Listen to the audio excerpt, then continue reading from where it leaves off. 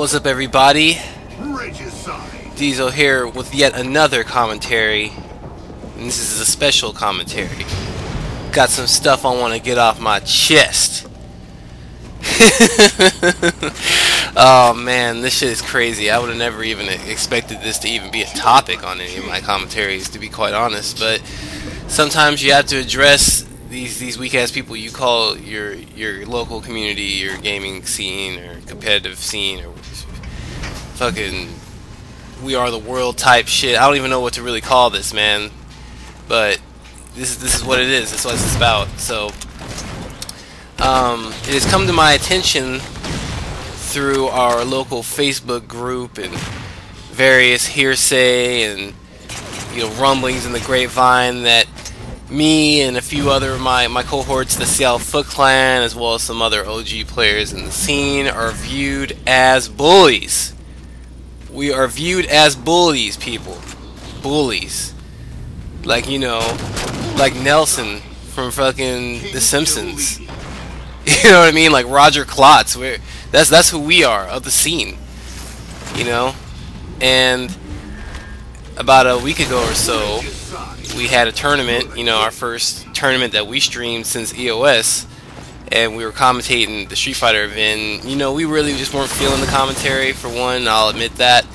I do feel as if the matches were a bit sloppy, and I do feel like a lot of the matches that we stream are, are honestly very sloppy and disorganized, but uh, that was definitely reflective within the commentary, and so the commentary basically, all it did, in essence, was just kind of just reveal what's always been the case here for, for, for quite some time and it's just things here are really fucking like like pussified around here man. It's like it's not like a competitive scene. It's not a um it's not really anything like that. And I, I'm gonna show you what it was we said. I mean just some of what we said. Because uh, obviously that that that's a whole video in and of itself. But um, here's what was said, and you and you let me know if this was completely terrible or if this warranted us being called uh, bullies and stuff like that. oh, so we're so I've already seen this match earlier, and it's gonna be some Cirque du Soleil shit. They're just gonna be doing all kinds of aerial acrobats, and that's about all. I can't really like. You're not gonna see a lot of combos. You're just gonna see. Let me throw some shit out and try to hit you. If this if this resets, I honestly think we shouldn't stream it. Oh no! I'm telling you, if Five Like Wine wins this set, we need to kick him off that that stream setup because we're losing streamers, viewers. No, we're pretty stagnant right now. No, we're losing all of our viewers to FGTV. What? Our viewers are going to FGTV. Want to play a, a good game? Yeah. Oh, oh my god. Like that's gonna work? No, it never does. Oh, oh. Okay. We got two. Yeah. Two. Fine like wine. Please stop just doing Hail Mary yeah. ultras. Stay calm. and, and, there it is. There, that's that's that's what was said. Uh, that's what sent a lot of these these new players into a into a frenzy. And you know, that kind of shit is just so whack, man. This is like the same, like, this is like the same culture now that wears, like, these fucking, like, headphones and shit to, like, block out noise. They're, like, mentally weak. Uh, like, real mentally weak. Especially, like, nothing critical was even said. The match was hella boring and shit. You know what I'm saying? Like, and that's one of my big, uh, issues right now, like, that I'm gonna get into a little bit later, but, you know, these people get on stream and they play like shit, and, they expect you to be like hyped to, to, to like commentate their shit.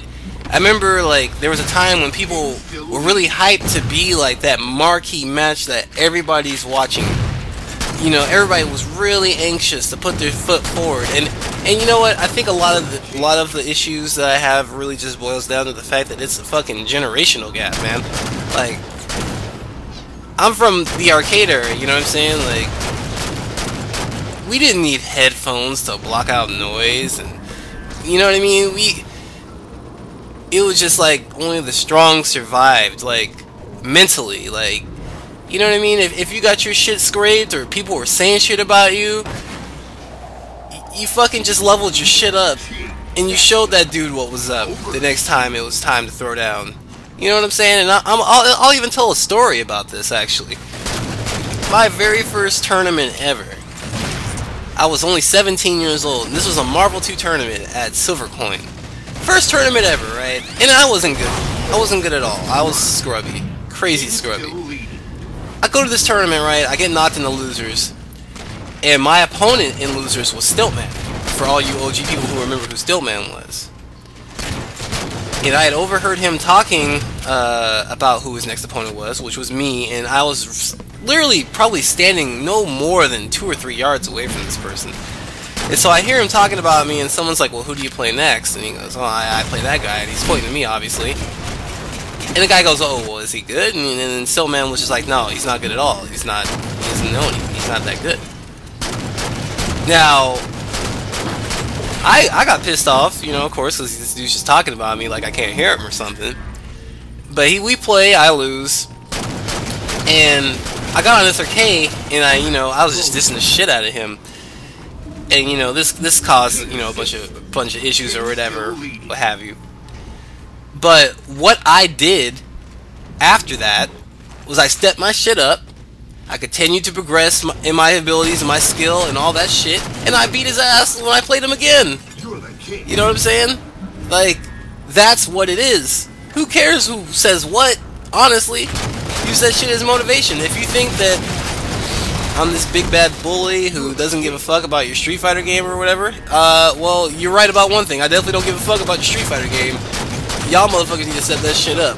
That's real deal, man. And I'm tired of these motherfuckers getting on stream, playing like shit, playing this whack ass bullshit. We're trying to showcase the talent up here, and y'all motherfuckers are playing like this is some fucking. I don't know. You're getting up there and taking a big fat shit. That's for real. And myself included, I'm taking a big fat shit, but at least I can say that I'm trying to level my shit up. I'm not sitting here whining and complaining about what people think about my ability. I don't give a fuck what anybody says because I know at my best, none of you motherfuckers are fucking with me to begin with. So I don't need that adoration or that that fucking hold my hand type shit. You're the king. You know what I'm saying? I've been knowing that I'm good. Maybe you need to find that fucking inner confidence.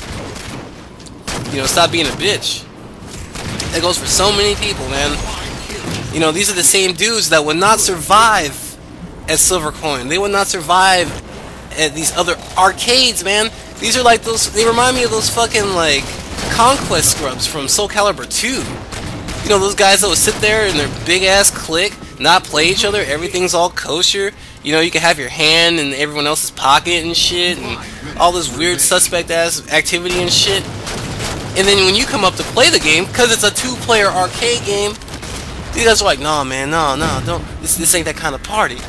Nah, motherfucker, this is Street Fighter. This is Marvel. These are fighting games. You're doing this shit because you, you know, you want to show that you're better than somebody. You want to showcase your abilities. You want to show that you're the best. Or maybe that's what it, what I think it is. Maybe that's what it used to be. It ain't that. It ain't like that no more up here. We got these fucking bitch ass babies that need to their bibs and shit. But anyway, that's all I gotta say, man. Catch y'all later. Thank you.